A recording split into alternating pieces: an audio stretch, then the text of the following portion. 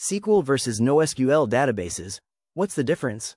Databases are the backbone of every modern application. But when you start a new project, one question always comes up. Should I use SQL or NoSQL? Let's break it down with simple examples.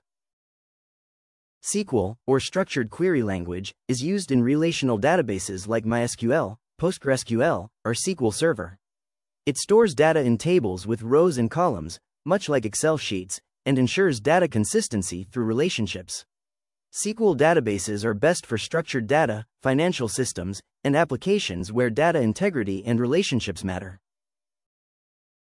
NoSQL databases like MongoDB, Firebase, or Cassandra are non-relational.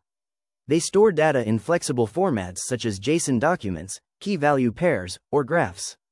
That means, no fixed schema, and easier scaling for bigger dynamic data. NoSQL databases are great for real-time apps, product catalogs, IoT, and large-scale systems where speed and flexibility are key. Here's a quick comparison. SQL, structured, schema-based, ACID-compliant, best for transactions.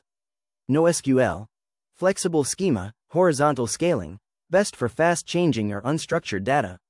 So, choose SQL when your data is predictable and relationships are strong. Go NoSQL when your data grows fast and needs flexibility.